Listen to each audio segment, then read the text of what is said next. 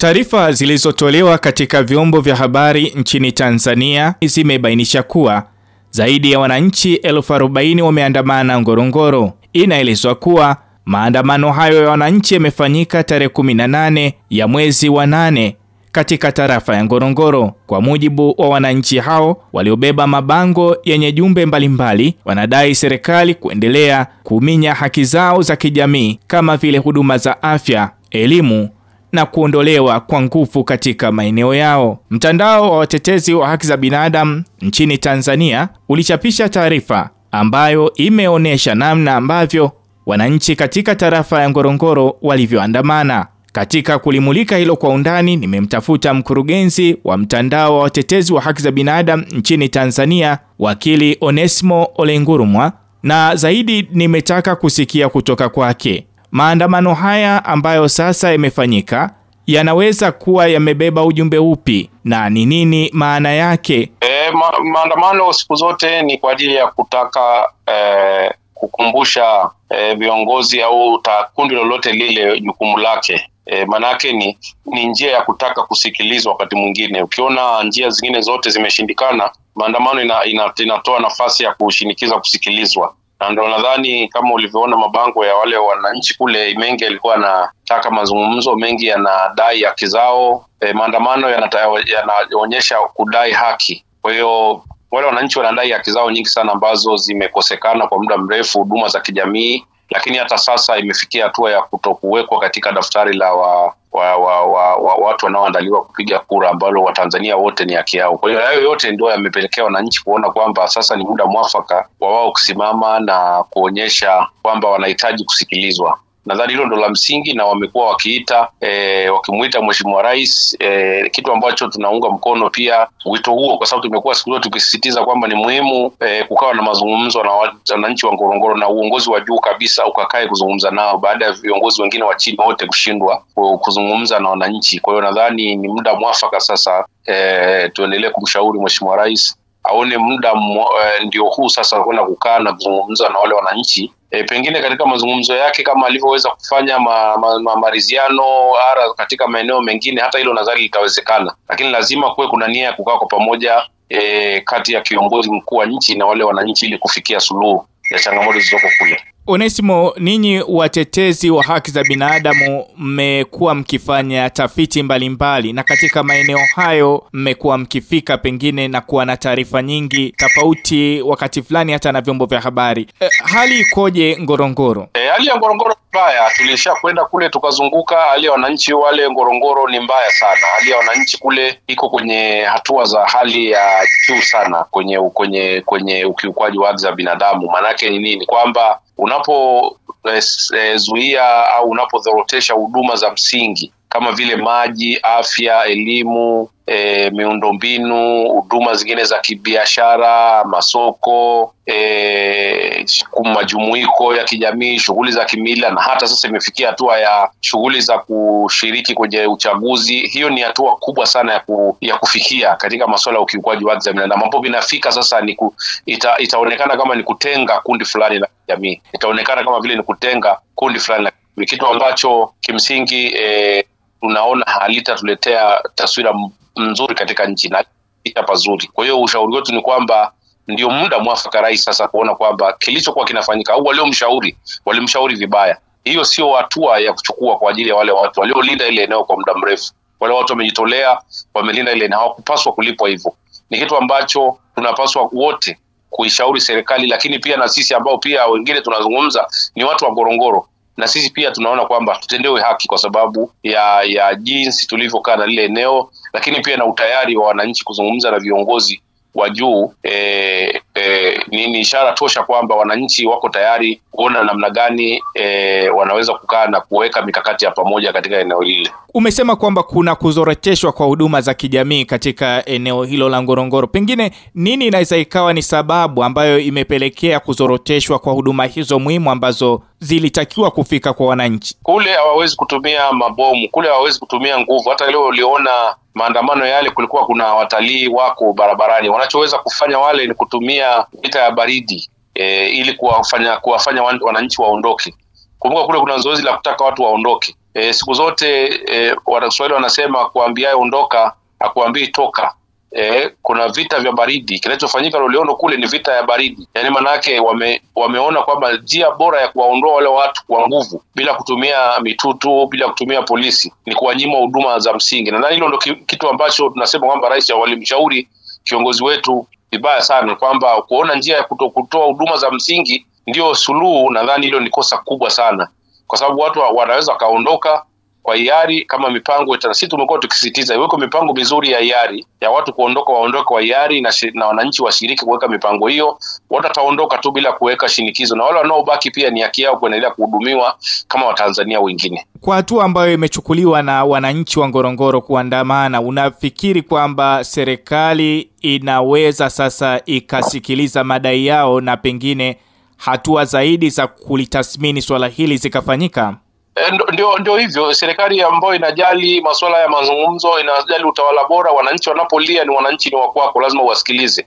Kinachotuletea shida ni kwamba wana wa, vion, wa, wa, baadhi ya viongozi wakati wametumia mbinu kubwa sana ya kunyima vyombo vya habari wasitoe vilio vya wananchi Ngorongoro. Vingekuwa vinatoka kwa wingi, siku nyingi sana eh, rais angeweza kuamua mwenyewe kulitatua ile tatizo, lakini kwa sababu imefanyika propaganda ya kuzuia media, kutishia media, wakati mwingine hata kununua baadhi ya vyombo waandishi ili wasiandike, ile swala lingekuwa linaandikwa kwa mapana yake na kwa uwazi, nadhani tusingefika leo tulipofika hapa. Wanaojaribu kuzungumza swala la Ngorongoro wakati fulani wanasema kwamba kumekuwa na uharibifu mkubwa wa mazingira na ndio maana hatua zinachukuliwa ili kuhakikisha kwamba eneo la hifadhi linaendelea kulindwa. Hizi taarifa ndizo ambazo unasema ni za propaganda ama kuna ukweli katika taarifa hizi? Kuharibiwa kwa mazingira duniani kote, mazingira yanaharibika. Hakuna sehemu ambapo mazingira hayaharibiki. Hata tunapozungumza sasa hivi e, wanaotengeneza viwanda duniani wanaharibu mazingira. Mazingira yamekuwepo na na yameendelea kubadilika hata bila kuwepo na watu, hata bila kuwepo na chochote, yanaendelea kubadilika. Swala la mazingira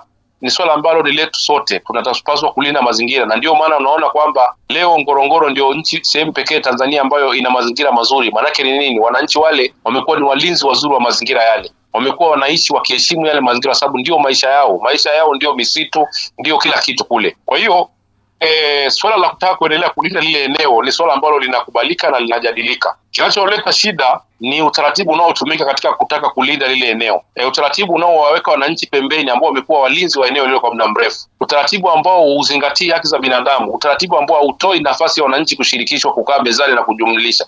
Hilo ndio tatizo, lakini wananchi wamekuwa tayari na wamelinda ile eneo na walikuwa wako tayari kukaa kuweka mipango ya pamoja ya kuendelea kulinda eneo. Na, na, na, na swala la ulinzi ulindi ulinzi wa mazingira e, duniani kote ni swala la, la, la, la la kila mtu na lapaswa liwe shirikishi kwamba tukae kwa pamoja. Hatuwezi kulinda mazingira ya duniani kwa kuumiza haki za watu. Lazima tulinde tukiheshimu haki za, kwa sababu tunalinda haya mazingira kwa sababu ya watu. Sasa hatuwezi kuumiza watu kwa sababu ya kulinda mazingira kwa ajili ya watu.